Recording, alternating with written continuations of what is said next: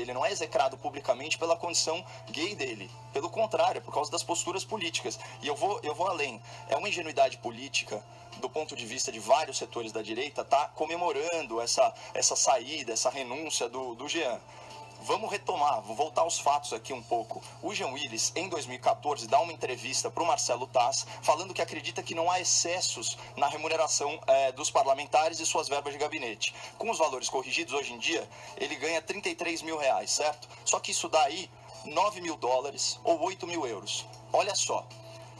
Com, o que, que, vai acontecer se ele se licenciar ou se ele renunciar? Entra na suplência o tal do David Miranda, ou Davi Miranda, que é companheiro de quem? Do Glenn Greenwald. Olha só que coincidência, eles vivem em união homoafetiva. Esse Glenn é aquele jornalista, militante, correspondente internacional da CNN que vendeu a tese do golpe para a mídia internacional. É só o ouvinte da PAN dar um YouTube, um Google em uh, uh, Christiana Manpur, CNN, golpe. Que vai trouxe achar, à tona também o caso Snowden. Vai achar tudo isso. E o, o caso de, se você acha que impeachment é golpe, então você concorda com Glenn Greenwald. Olha o que acontece do ponto de vista de macropolítica, vamos tirar as emoções de lado, Edgar.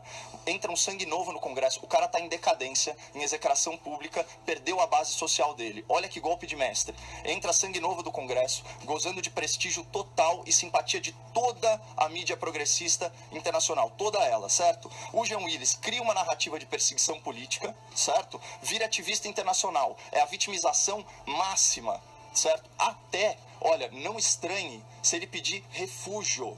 Não estranhe, porque ele é concedido ao imigrante por fundado temor de perseguição por motivo de grupo social ou opiniões políticas. E quem que dá as diretrizes globais para o refúgio? A Acnur, Alto Comissariado das Nações Unidas para Refugiados. O que, que ele vai virar, o João Willis? Ele vai virar um embaixador da oposição no estrangeiro. Ele sai de ser um párea no Brasil para virar um pseudo-herói lá fora. Só que pior, ele vai ser remunerado em dólar. Então, na verdade, a galera da direita tá achando o máximo, se ferrou, porque a guerra de narrativa vai ficar 10 vezes pior. Ele, ele literalmente está dando um beijo no ombro pro Brasil e tá lacrando e vai se dar bem ganhando em euro ou em dólar. Nossa, bom.